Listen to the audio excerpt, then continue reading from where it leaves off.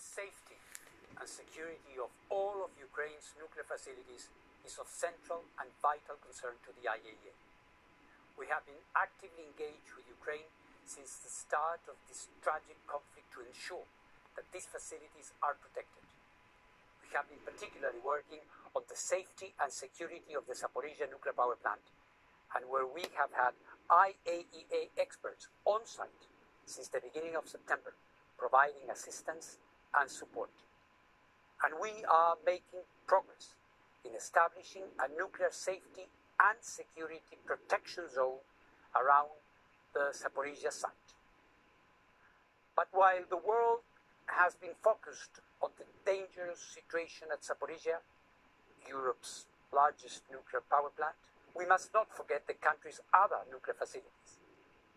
Yesterday, for the first time ever, all of Ukraine's four operational nuclear power plants, Zaporizhia, Rivne, South Ukraine, and Khmelnytsky, lost external power and were disconnected from the grid. They were all forced to rely on emergency diesel generators for the electricity they need to ensure their continued safety and security. This unprecedented situation would have been unimaginable just months ago. It is deeply worrying.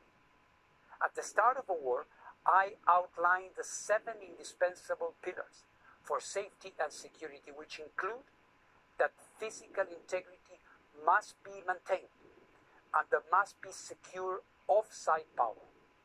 I appeal today that these pillars must be respected to ensure that all Ukraine's nuclear power plants are not affected in this way again. Recently, Ukraine requested the IAEA to provide, as well as for Zaporizhia, on-site assistance and support to Rivne, Khmelnytsky, and South Ukraine, and to Chernobyl. This assistance has begun. We must do everything to prevent a nuclear accident at any of these nuclear facilities, which would only add to the terrible suffering we are already witnessing in Ukraine.